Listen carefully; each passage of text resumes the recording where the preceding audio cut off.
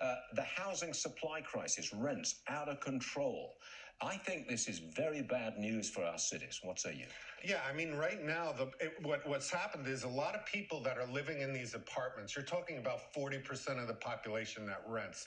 They were giving incentives during the pandemic. Those incentives are now coming to an end. So the landlords who have been taking losses now face do we have to raise rents? And the biggest problem here Stuart is is its supply and demand. Because of inflation it's costing so much to build in new york city alone rents are now at a higher level than they were at pre-pandemic and it's not because people are making more money the city's doing better and this city's doing awful our crime rates up 60% this year what it is is there's a need for supply a lot of people have been starved out of the housing market But and it's can't build. available You can't build in the cities. I mean, the regulations, the rules, the regulations, the, the permitting process. You can't build.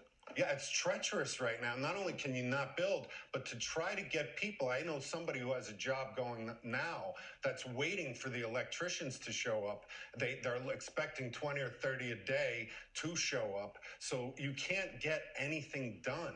And it and it's become and it's gotten to a point right now where you know you have cities like Miami that that the average person is spending upwards of 50 to 75 percent of their income Oh, on that's housing. impossible. That's Impossible. tragic. It's impossible. You can't do it.